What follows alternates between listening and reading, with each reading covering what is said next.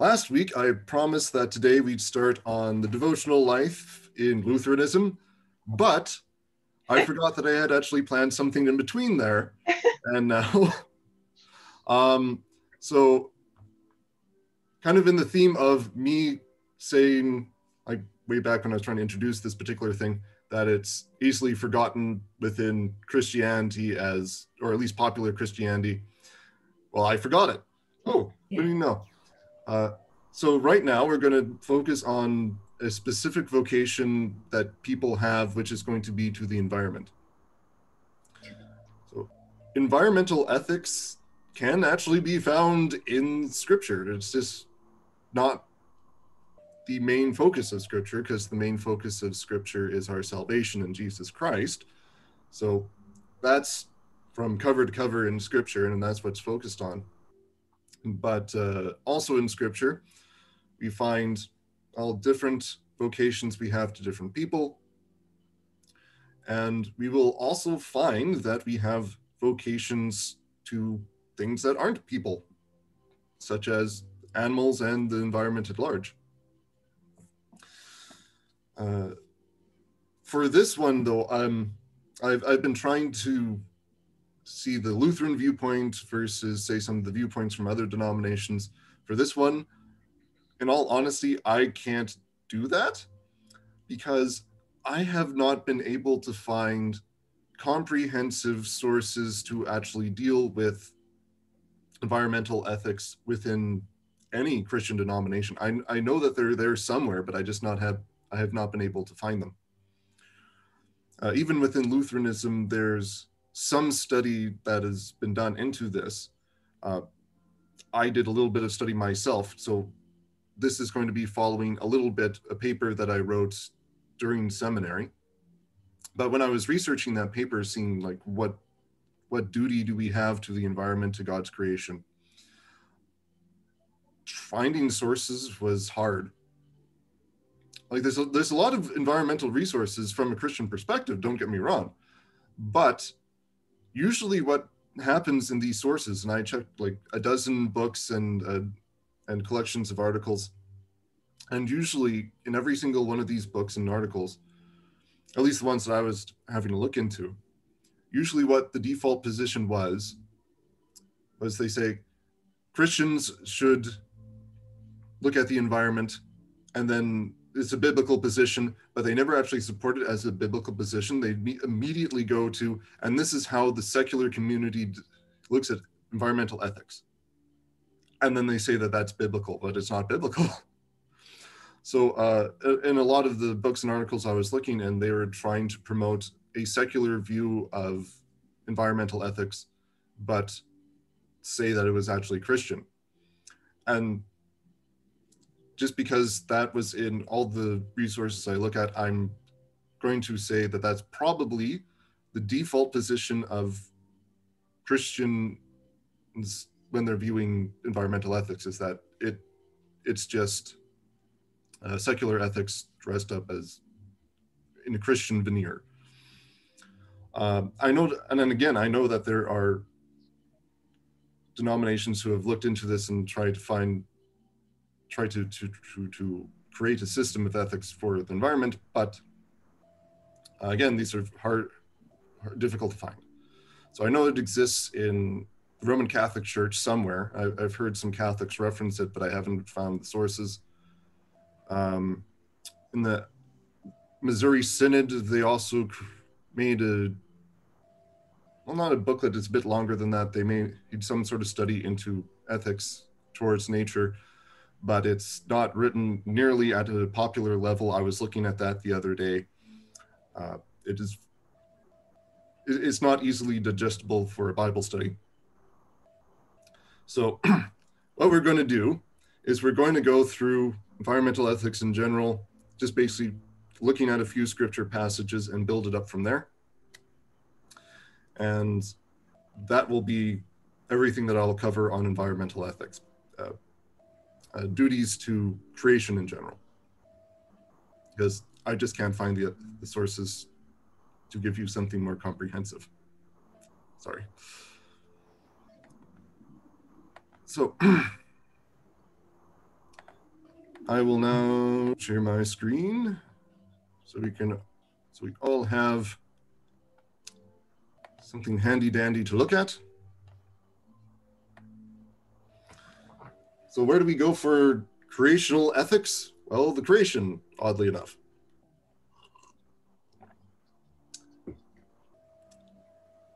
And since we're familiar with the creation event, I'm going to read through this relatively quickly, as I'm hoping that everybody knows this more or less.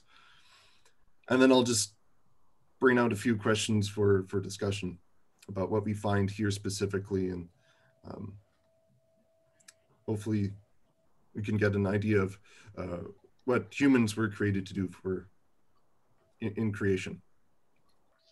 So from Genesis 1, beginning of the first verse.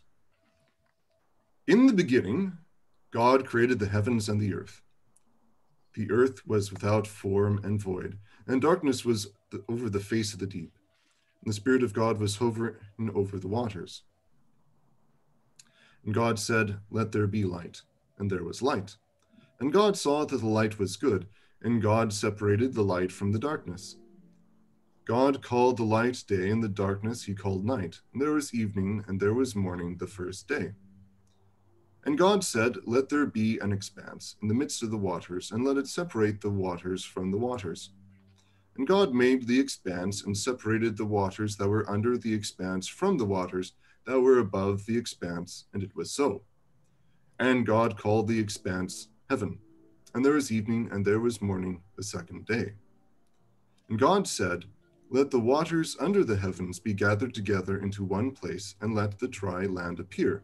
And it was so. God called the dry land earth, and the waters that were gathered together he called seas. And God saw that it was good. And God said, Let the earth sprout vegetation, plants yielding seed, and fruit trees bearing fruit in which is their seed, and each according to its kind on the earth. And it was so. The earth brought forth vegetation, plants yielding seed according to their, their own kinds, and trees bearing fruit in which is their seed, each according to its kind. And God saw that it was good.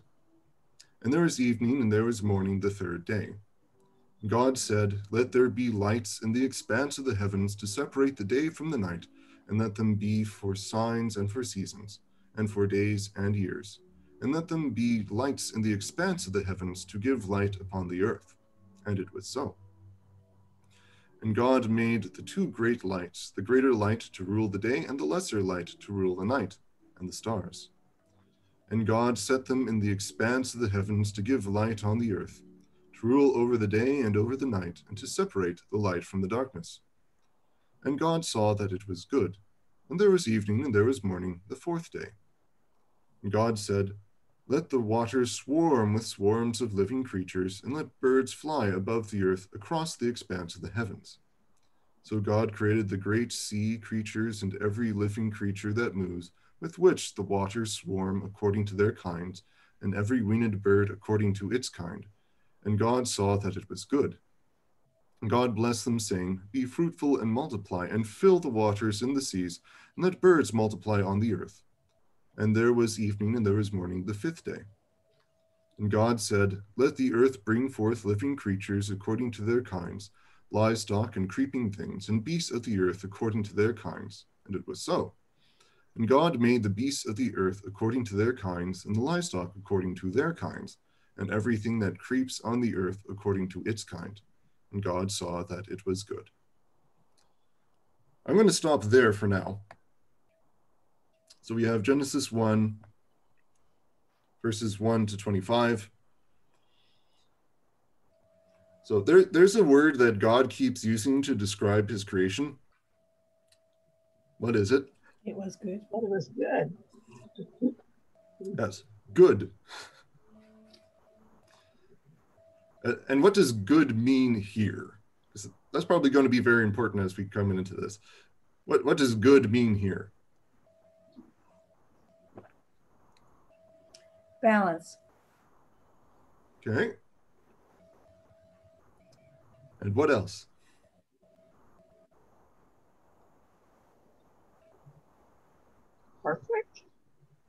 Flourishing. Yeah, perfect.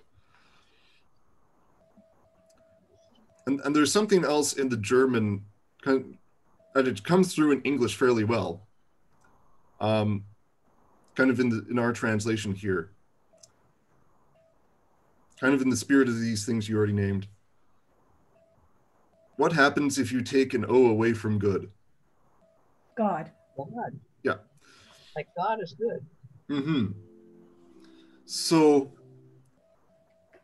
this yeah, this comes up very well in German and also English, which is descended from German, at least part of it is, that goodness, as it appears in Scripture, derives from God.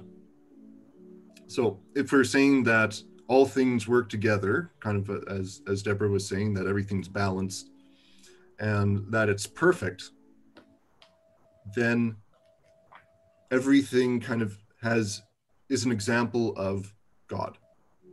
So the perfection, the design, the intelligence behind everything, creation reflects the goodness of its creator.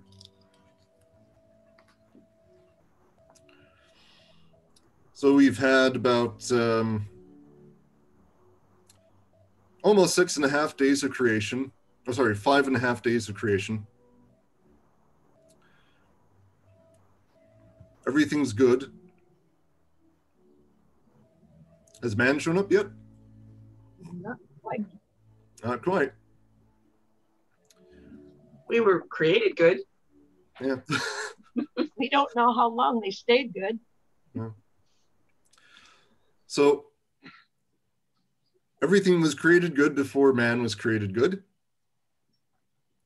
Does that mean creation is good apart from humanity?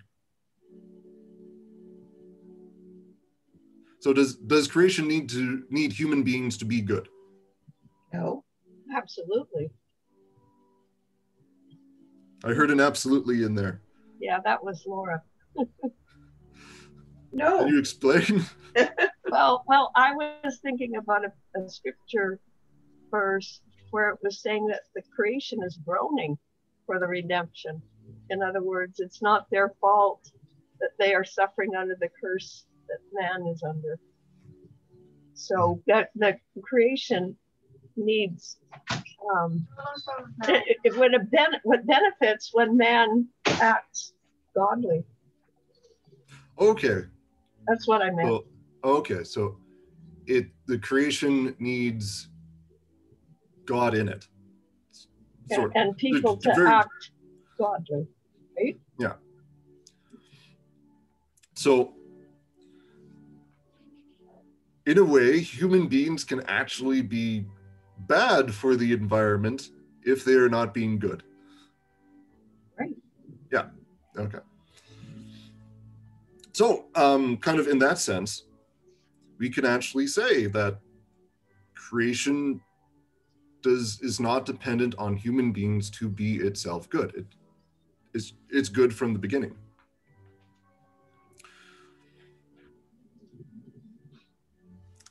Well, I don't know quite about that because after the fall, um, then the creation and the creatures um, were suffering Mhm. After the But, but we're we're talking about Genesis chapter one, which is before the fall, though. Oh, oh, okay. Sorry. no worries. So, so will you restate what you said now that I understand? Okay. So creation is good in and of itself, and all the aspects of creation are good in and of themselves, independent of human beings. Oh, up until the, Well- Well, creation is reflecting the goodness of its creator. right. So all these things are good. Because let, let's point to kind of a few random days here. So let's say um, uh, day two here, where God separates water from water, and He lets waters. Uh, uh, sorry, that, that's day two and three. But separates water from water, and there's an expanse in, up above, and that expanse is called heaven or the sky. It's called good by God. Therefore, the sky is good. And human beings weren't even mentioned in, in this verse to call it good. So it's not that sky is, the sky is good because of human beings, but the sky is good because it reflects the perfection and the design of its creator, God. Okay. And then we can even go skip down to say, uh, uh, third day, God causes dry land to appear, uh, plants yielding uh, seeds and their fruit. Uh, they appear. God calls all of this good, the plants good, the dry land good, and human beings have yet to appear. But because God designed these things and they're reflecting the goodness of their creator, they're good, independent of human beings.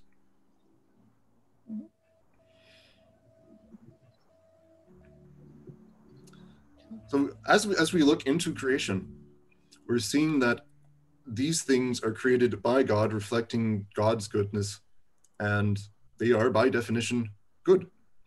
So it's not that all creation needs human beings to make itself good. What creation needs to make itself good is God. Which is also a little bit what you were saying, Laura, when you were saying that um, uh, when creation groans, it needs man to act godly. Not, not necessarily that man has to be there to make creation good, but that man has to be godly, reflect the goodness of his creator in order to give that goodness into the creation. Something like that. Something like that.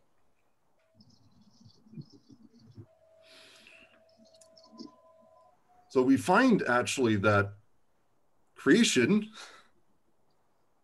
was good even before the creation of man. And by man, I mean male and female. Yeah. Yeah. Humanity. So creation, as long as it's perf- uh, reflecting God's goodness, is itself good. And we can get into how the creation also falls, but we'll we'll see how far we get this morning. You may get a, you may talk a lot about a, a few different things. So now let's look at introduction of humankind. So this is still on the sixth day. This is after the creation of all the animals. So human beings are the last thing that God actually creates. Everything else comes before. Everything else before man is called good. So let's see what happens after man gets created. So uh, starting at verse 26. Then God said, Let us make man in our image, after our likeness, and let them have dominion over the fish of the sea, and over the birds of the heavens, and over the livestock, and over all the earth, and over every creeping thing that creeps on the earth. So God created man in his own image. In the image of God, he created him. Male and female, he created them. And God blessed them. And God said to them, be fruitful and multiply and fill the earth and subdue it. Have dominion over the fish of the sea and over the birds of the heavens and over every living thing that moves on the earth. And God said, Behold, I have given you every plant yielding seed that is on the face of all the earth, and every tree with seed in its fruit.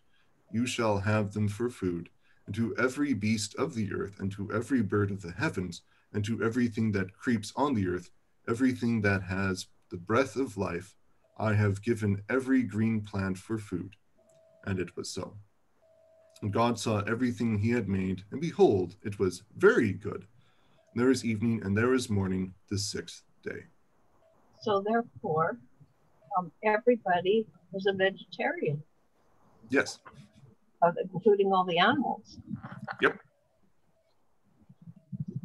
And when did that end? Um, the definitive word comes after the flood of Noah. Oh, Before before then, it's possible that some people were eating animals because um, um, Abel was a shepherd, so it's possible they were eating animals at that point, but they weren't supposed to. Don't we don't really know. Um, and and we also don't really know when the animals started eating other animals. But after the flood in Genesis chapter nine, and we might actually touch on that because that's also an important passage, kind of looking into our relationship with nature. But after the flood, then God allows human beings to start eating animals for food. So you have a, mm, according to the Genesis genealogies, oh shoot, I'm it's about uh, not not 2,000 years, but close to it.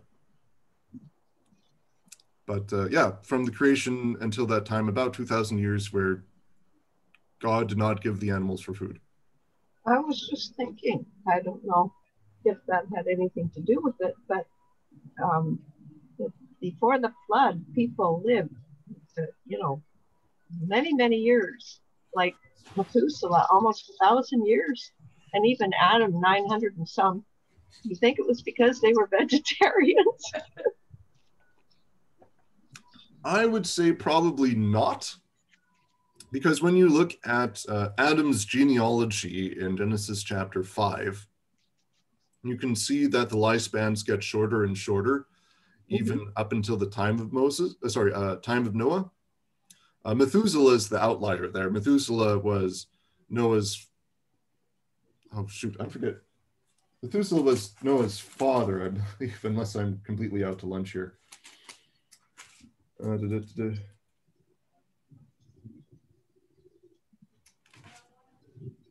Ah, grandfather, I was wrong. Okay, so Methuselah was Noah's grandfather, and Methuselah had a was the longest lived human being. He lived longer than Adam, but all the other all the other people, you see a progressive progression in uh, um, reduced age before death. So I wouldn't I wouldn't say it's because of it's just their diet. I wouldn't necessarily say it's diet. Well, it might have been a factor, but not the whole thing. No. And do we but, know that uh, Methuselah never ate a piece of meat? We don't have a recording of it. No, right. So we're making assumptions about him. Well, we know that definitively God said, eat plants, Genesis chapter 1, and then you can eat the eat meat at, in Genesis chapter 9. Right. In between, we don't have anything talking about this. So if people were eating meat, then they were doing so outside of the will of God. Well, how about uh, but this this is kind of distracting from what we're concerned with here, uh, unfortunately. Okay. So, looking at man's creation, and by man I mean man and men and women. I, I'm just going to change this. Humanity's creation. There we go. Mm-hmm. Just to be clear, in humanity's creation, how is this different from all the other creation events that have gone on before in the previous five and a half days? He's created in God's image. Yep. And God blessed them. Mm-hmm. Is a specific blessing. Dominion. Sorry, what's that? He gave dominion over creation to Dominion, there we go.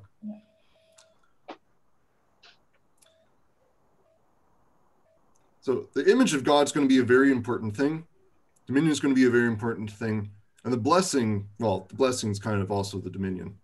Uh, but um, we can even compare what does, how does God bless them? As we have a few different parts in here. So let's look at uh, Genesis 1, verse 28. So let's look at the first part here. So be fruitful and multiply and fill the earth and subdue it. How is is this different from what's gone on before in in the creation uh, in Genesis chapter one? There were no jobs given to anybody, any of the creatures, or there was nothing to do. They were just created. Uh, And what's There's the some- meaning of subdue? Subdue. Is that what we normally think of the word subdue or? I'll get to that. but um, kind of in the spirit of what does God give to the others to do? We actually find something interesting in verse 22 here. We have God blessed them. So this is uh, the birds of the air, the creatures of the sea. And keep in mind, this is not supposed to be a, an official taxonomy in the modern sense. So if you're in the ocean, you are categorically a fish. If you're in the air, you're categorically categorically a bird. So according to this taxonomy in ancient Hebrew, uh, bird, uh, sorry, bats would count as birds and whales would count as fish. But he did expect them to multiply. Yes. So God's You know, God know. blessed them, saying, "Be fruitful and multiply, fill the waters in the seas, and let the birds multiply on the earth." So He's saying, "Do this." Uh, he doesn't quite give. He doesn't articulate the blessing uh, to the land animals, but he does say, Created. uh, livestock and creeping things and the beasts according to their kinds, and it was so. So you kind you kind of assume that you're also told to be fruitful and multiply, but that doesn't appear in the text. So the be fruitful and multiply to fill the earth. This part is not exactly unique to human beings. Like it is something we're called to do, don't get me wrong. But it's also something that you would expect to find in a lot of the animals. And the unique part here is the subdue. But there's also an order to this. He created the male and female Mhm. and blessed that union as a as a, a multiplying factor. Mhm. So it's not um, males having two males having children. Yeah, I'm, fruitful I'm, I'm going to say that's pretty much impossible. Yeah, exactly. So I mean, I think it's important to know the order here as well. Mm. He created male and female. He didn't create two male birds and expected them to multiply. Yeah. Yeah, uh, you, you, we can say that God created creatures to live in community, that he created Male these things with the ability to be fruitful and multiply. So you have families, but these are established upon the family as the basic unit of community. You have husband, wife to produce children. Pastor, I've just thought about this now, and I don't know if this even makes sense, but when the, he originally made the creation, do you think that he just made two of each kind or, or several? We don't know. We don't know. Yeah. Explicitly, we know that he created one male, one female for human beings, but the other the other creatures we don't really know. Um, you can also contrast this with angels. How many angels are there? We don't know, but they were created at the beginning, and they were quite numerous. However, they were also created not to be given in marriage, that is, not to have children. So, whether that is a fair analogy is probably not a fair analogy because to be fruitful and multiply that that implies that we are we were created to fill the earth, whereas the the angels were created at the beginning to fill the heavens with the same number creation will always have. So, Pastor, this is a hard question. You probably can't answer it. But before 42. God, before God created the world uh, or the angels, was He just the three of them by themselves? Well, God was by himself. That's the definition of the self-subsistent being is that he is who he is. He always is. Um, if we say before creation, that's also a bit of a tricky thing Yeah. because when in, I'll, I'll just go right up to it. So, in the beginning, God created, which means the beginning was when God created. When did time start? At the creation. Before the creation, there was not time, or at least anything we would experience as time. So God always was, but we don't, we can't really say was in terms of time. But again, that's kind of beside the point, unfortunately. Right. I know. So what does, so we're looking at subdue. So this is unique to humanity. And God even claim, kind of explains this a little bit more when he says, uh, have dominion over the fish of the sea, over the birds of the heavens, and over every living thing that moves on the earth. So, does is there anything outside of this that man does not have dominion over?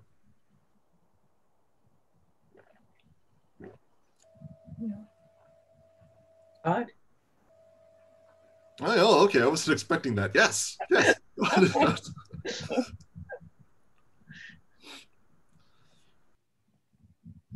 we're talking in plurals here. God created Adam and Eve presumably as fully grown adults. Mhm. Wouldn't he have? You're talking in plural, birds and animals. Uh, you would think that God created creation as fully mature.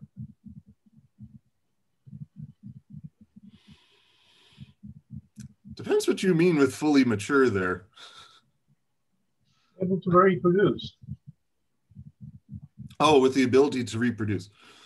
Um, quite possibly, yes. plural. Yeah, so he it's unlikely that he created or at least from how we are reading the text anyways. It's unlikely that God created eggs to hatch into birds and that's how things got started. It's, it's more likely that he just said let there be birds and there were birds I'm, already in their adult form. I'm confused by the subdue it phrase. There was there was no conflict. So what what at that point in time there was no conflict anywhere. Mm. So what are you doing? Yeah. And this is going to be a very interesting question to have. And when I was looking into, when I was researching these things, so what does subdue it mean? Well, we have to look at it within its particular context, because that's also how you do language. You you uh, you determine what words mean based on their context. Uh, hopefully, words already have a base meaning that you can insert into the context, but you have to interpret words based on their context. So, what does subdue it mean when there's no such thing as conflict? Because this is before the fall. There's no evil in the world. There is no cause to do violence. So, what does subdue it mean? And you kind of have to go fairly abstract because we have to uh, imagine subduing creation before there was anything to uh, bring into line, as it were. Uh, everything's acting according to the will of God, everything's uh, organized, designed by God to fulfill specific purposes. So, what does subdue it mean? Um, Be like being a gardener, Pastor? Like if like they're was that what Adam and Eve had to do? They had to be like gardeners? But that would nothing mean is part of it. Weeds weren't a problem until after the fall. So what were you, you know, the garden functioned the way it was supposed to. Well, that also depends on your definition of weed, because weed ty- typically means something that is an aberration, something that you don't want in the place that you designed for something else. That's right. And so that wouldn't have been a problem before the fall. No. It was designed the way it was and functioned the way it was supposed to. Yeah.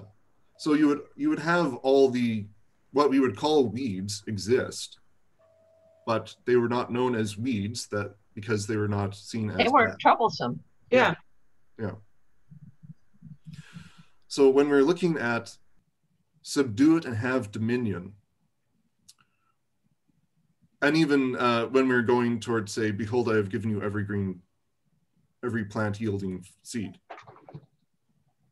All of that should be interpreted kind of going back to who, who humankind is. So what makes them different from the rest of creation? The image of created in God. God's image and and subdue I think means to be godlike to them like to keep things in balance No. and to keep the good it it it, it as being good Yeah. So if if mankind is created in God's image, what has God done so far in creation? And we only have a most of a chapter before this point. So what has God done in the chapter before this point? I mean, before he created man, he said it order Well, there's order and there's also fruit mm, not quite what I was looking for. Um,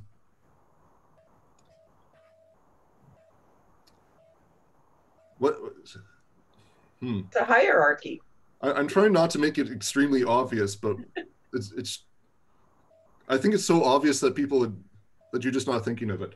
Um, what did God do in the beginning? Created.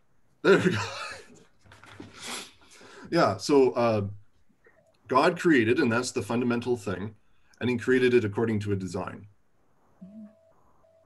So when human beings are created in God's own image, what are they created to do? to worship and praise God.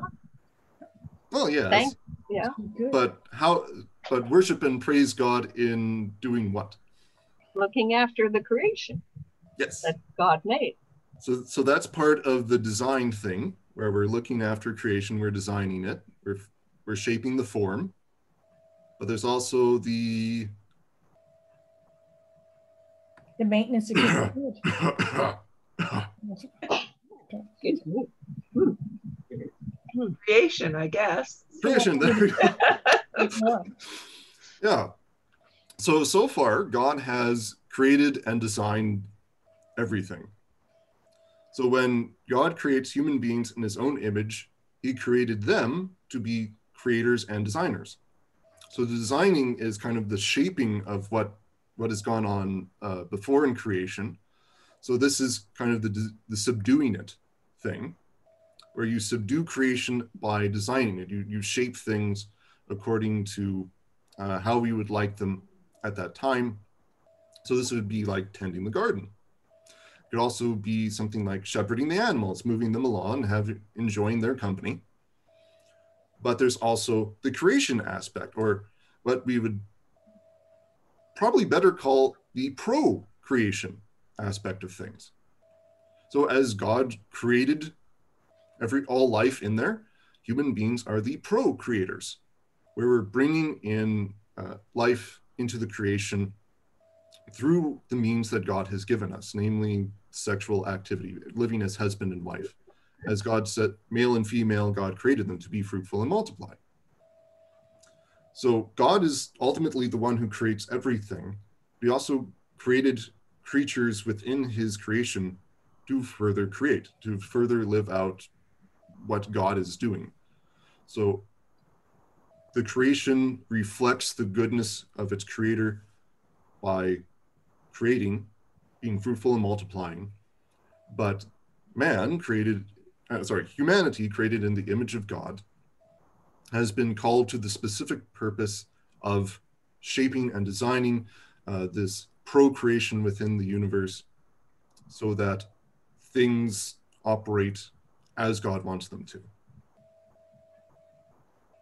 So that's ultimately man's purpose within the creation and the fundamental aspect of all environmental ethics is that we are created to operate uh, to to work as God would have us work within creation by shaping it, forming it, and creating.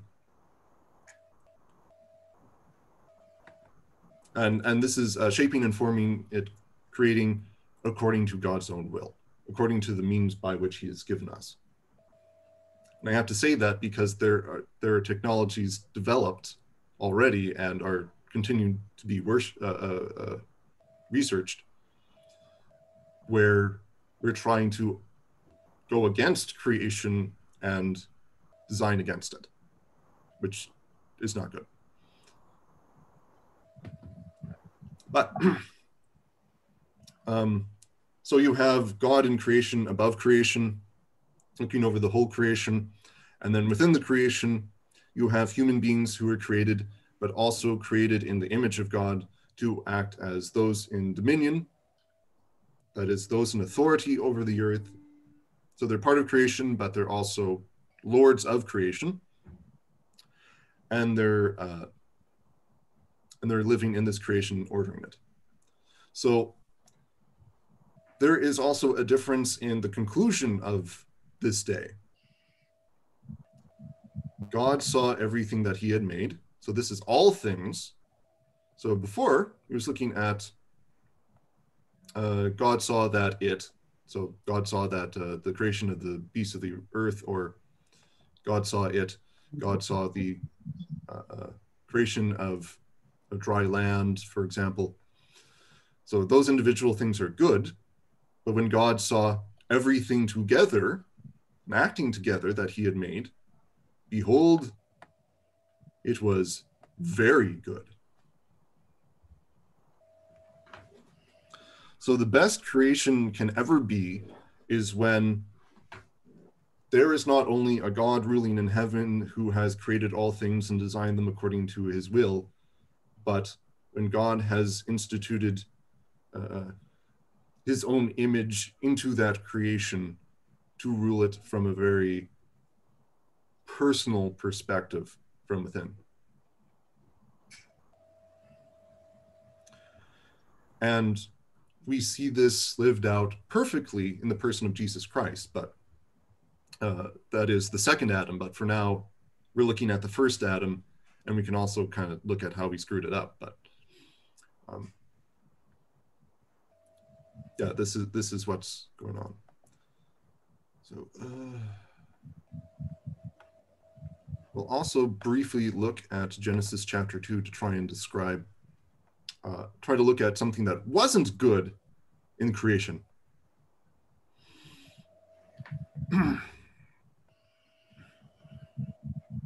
So after the creation of Adam, so this is in Genesis chapter 2. Um, well, let's, let's start at verse 18 there.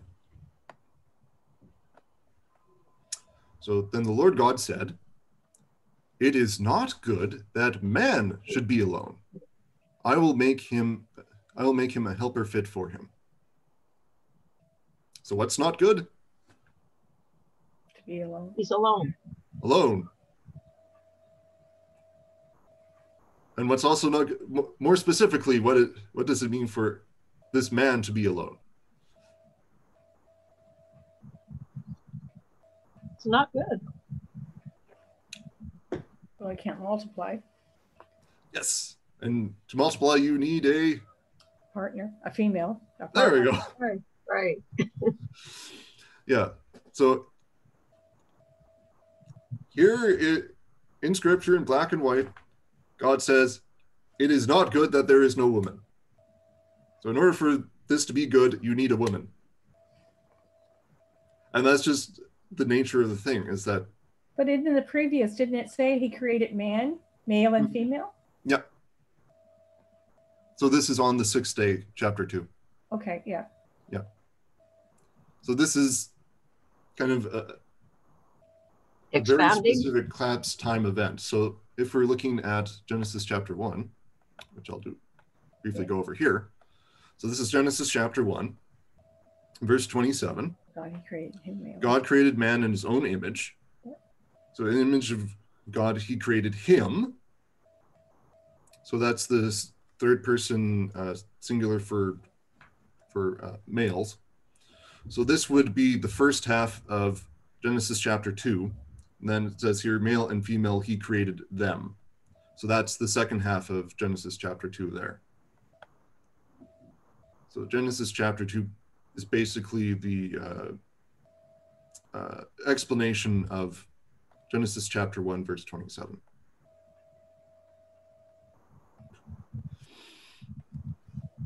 So, oh, and I'll also make the point here. So, if God said that it is not good, there's something that's not good, then he couldn't say that it was very good. So, in order for creation to be very good on the sixth day, he had to create women first. So, Pastor, are you saying that, af- let's go back to that, what you were highlighting. Hmm. Um, ready? okay, and God saw that everything he made, he must have included Eve. Yes. Yeah, she had to. That's the point you're making. Yep. Then it was very good. Yep. Okay.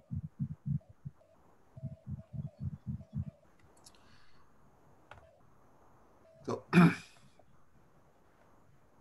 so we're uh, specifically looking at Eve's creation, Mhm. or the woman who would become Eve. She she doesn't get named Eve until after the fall, but um, she's the mother of all the living. That's what Eve it meant uh, means. So uh, she's actually named Eve. I'm sorry, I'll, I'll. This is kind of a tangent, but so the man called his wife's name Eve because she was the mother of all the living. Why is she recognized as the mother of all the living? Well, if you look at God's prophecy to the serpent, God says to the serpent, I will put enmity between you and the woman, between your offspring and her offspring. He shall bruise your head, and you shall bruise his heel. So God says to the devil, There will be a savior that will crush you, and you will try to crush him, but he will crush you. So when the woman is counted according to her offspring, that is the ultimate offspring, Jesus Christ our Lord, that is why Eve is called Eve, the mother of all the living, because she will produce Christ, or her line will produce Christ, and Christ will create all life, or sustain all life And create and recreate, sustain. and, and didn't, and, and Eve, when her first child was born, who was Cain, she Hmm. thought that it was the man from the Lord, right? Yeah. She did believe that promise. Oh yeah, absolutely. So um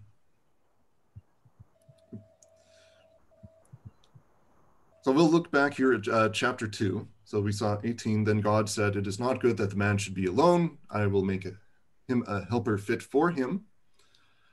Now, out of the ground, the Lord God had formed every beast of the field and every bird of the heavens and brought them to the man to see what he would call them.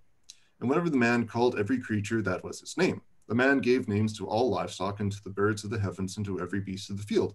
But for Adam, there was not a helper fit for him. So, humanity having, or Adam being the, the, the figure of humanity representing all humanity, he has all of creation paraded before him, every creature par- paraded before him and he recognizes that he is absolutely alone because all these creatures are not fit as a helper for him. He needs to be in community with a wife. And that's the nature of humanity is that, yes, you can fill a need for community with a whole bunch of animals, but none of these animals are what you need, which is another human being. So uh, also, this would point to the design of God's creation. So all these animals brought before God they would have a specific purpose within creation. They would be created in in in connection with each other. So, how many of each animal was created, we don't know, but there's at least enough for them to be fruitful and multiply.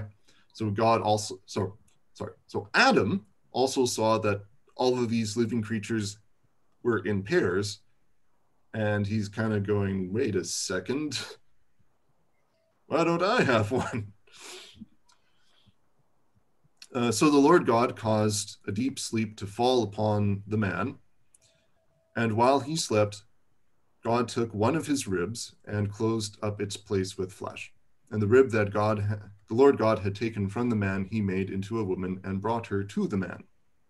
Then the man said, This at last is bone of my bones and flesh of my flesh.